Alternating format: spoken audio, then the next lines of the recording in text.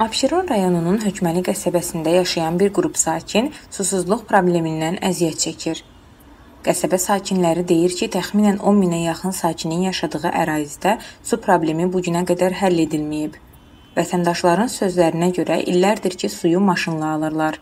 Bu isə xüsusilə yay aylarında sakinlərin əziyyət çəkməsinə səbəb olur. Mənşəyi mən məlum olmayan yerlərdən 30 manat, 40 manata çatdırılır. Yəni biz ancaq bu sudan istifadə edirik. Yəni mənşəyi də bilinmir bizim. Belə bir şeydir. Hər ay deməli bizə məcburiyyət qarşısına qalır 70-80 manat. Yəni bu maşınlara su almaq üçün pul ödəyirik.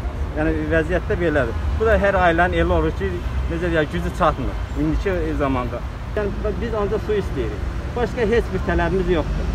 Heç bir tələbimiz yoxdur. Ancaq su.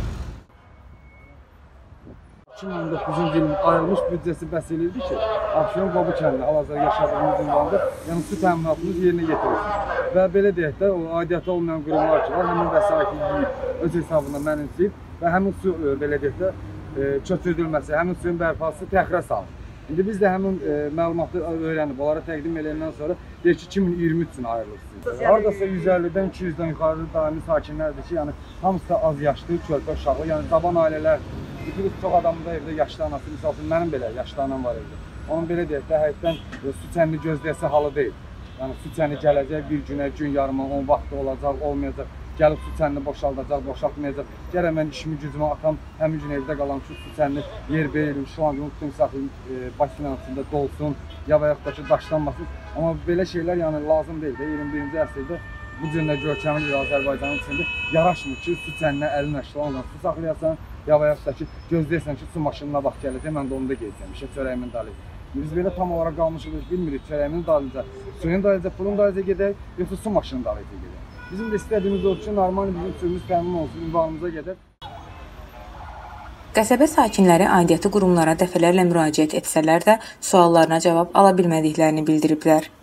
Onların sözlərinə görə su problemi ilə bağlı sakinlər adından dəfələrlə yazılı şəkildə Azərsu Açıq Səhmdar Cəmiyyətinə müraciət etsələr də məktublarına cavab verən olmayıb. Bizim də e, aidiyyəti qurumlarımız var, maraqlandığımız yerlər var ki, bizim üçün 2019-cu ildə fakt simultane e, büdcə ayrılıb. Sadəcə olaraq 2019-da həmin bu gördüyünüz cəmaət orada yaşamır. Dövlət öz fondundan ayırıb ki, gələcəkdə burada yaşayış olanda da cəmaət bu vəziyyətdə kütləvi gedib hardasa narazılıq yaşamadan 2015-də, 2017-də ki, əhali çoxalandan sonra biz indi xəbər tuturuq ki, bizim üçün 2019-da cənab prezidentimiz tədbirlərini görüb və əhalinin belə deyək də problem su təminatını artıq biz köçməmiş bizim üçün həll edib. Amma yerdə qalan qurumlar ki var, su istifadə edir. Pullarını mənimsəyərək yeyirlər. Yəni buna da bir yox demək lazımdır. Türkan Bəşir, Amerikanın səsi üçün.